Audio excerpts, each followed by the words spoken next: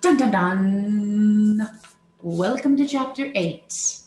Chapter eight is called Unsurprised, and it is narrated by Chloe Garfinkel.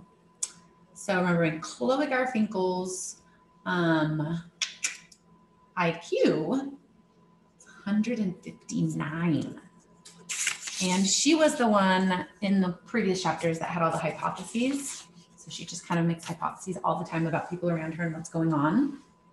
So let's see what her take on all of this is.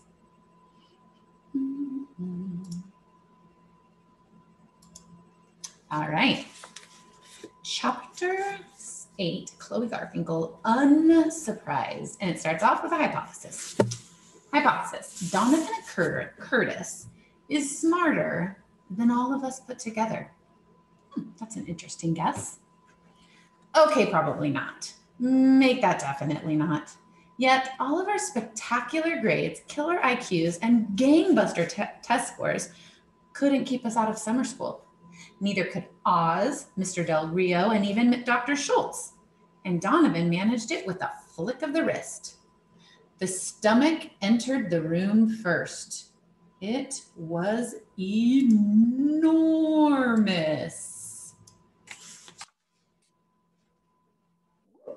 Like someone had stretched a tablecloth over a prize winning watermelon. We waited for the rest of her to come in. It took longer than we thought because she wasn't moving too swiftly. When I finally saw how petite she was, it seemed like a miracle she was moving at all. Her name was Katie Patterson, and she was Donovan's older sister.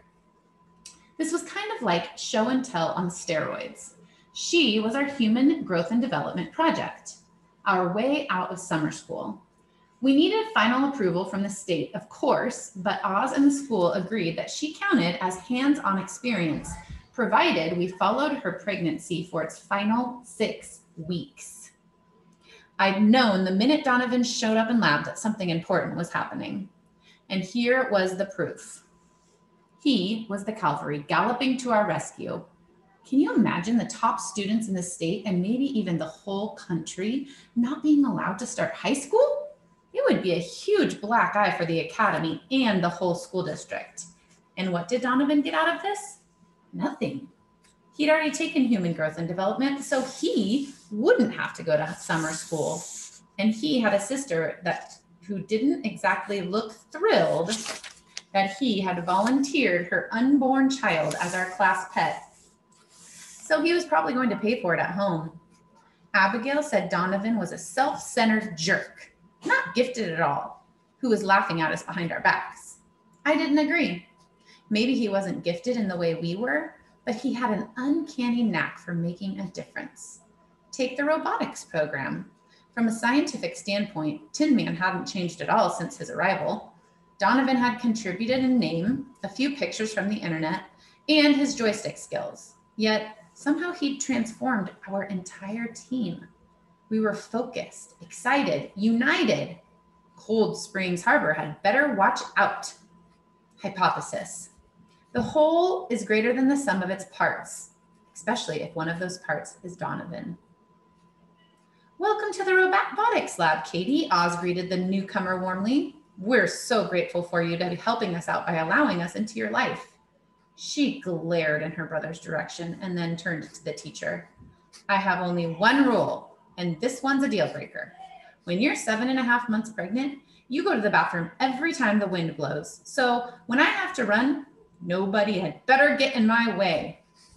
Oz seized the teachable moment.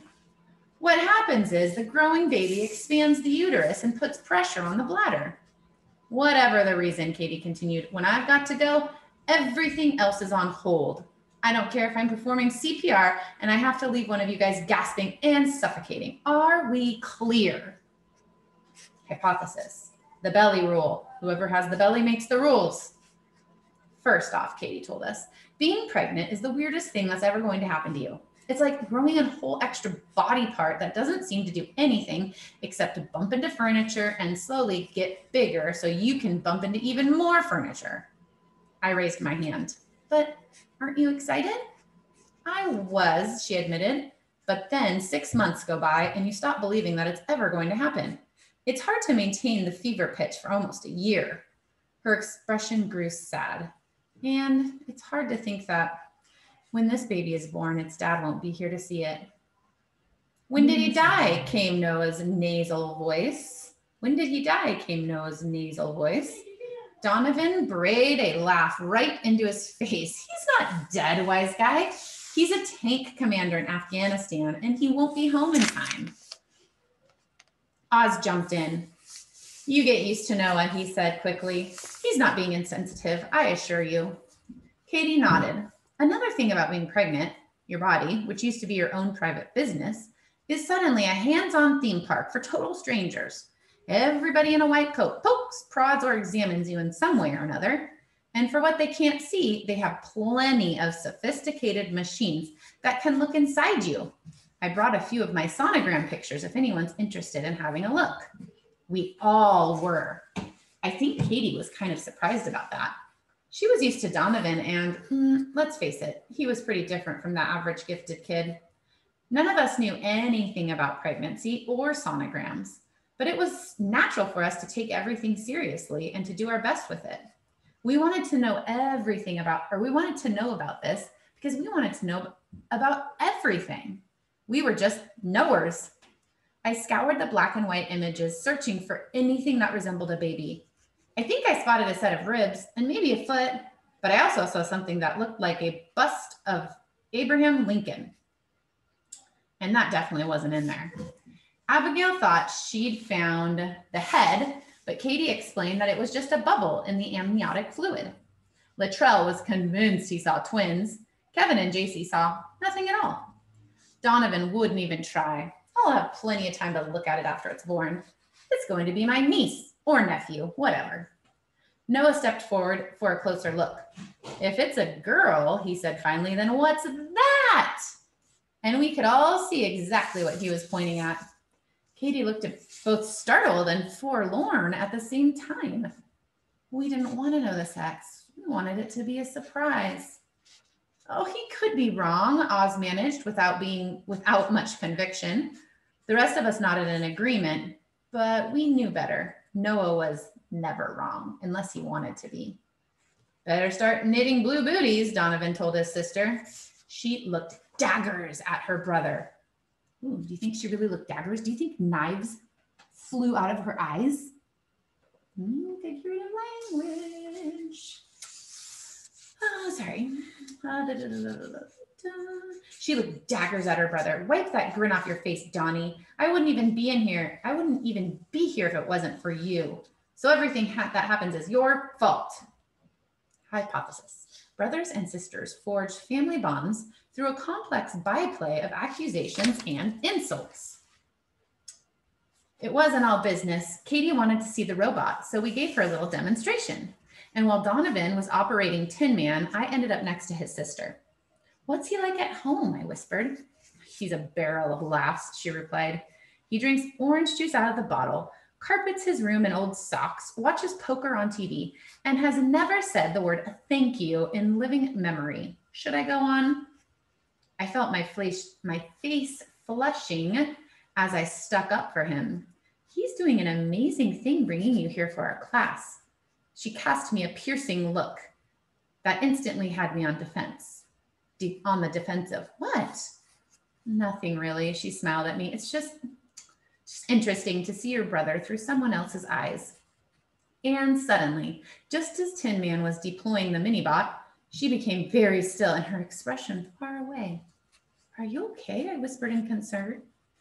The baby's kicking. She took my hand and placed it on the sweater over her rounded abdomen. I could feel it tapping against my hand like a little like little hiccups. It was strange, but also kind of beautiful. I was so much I was so much more than just one hour closer to my human growth and development credit. In those 60 minutes, I've learned what a brand new human life felt like. Hypothesis. And a certain tank commander in Afghanistan will soon find out he's having a son. The end of chapter eight. Whoops, Noah totally let that cat out of the bag, didn't he?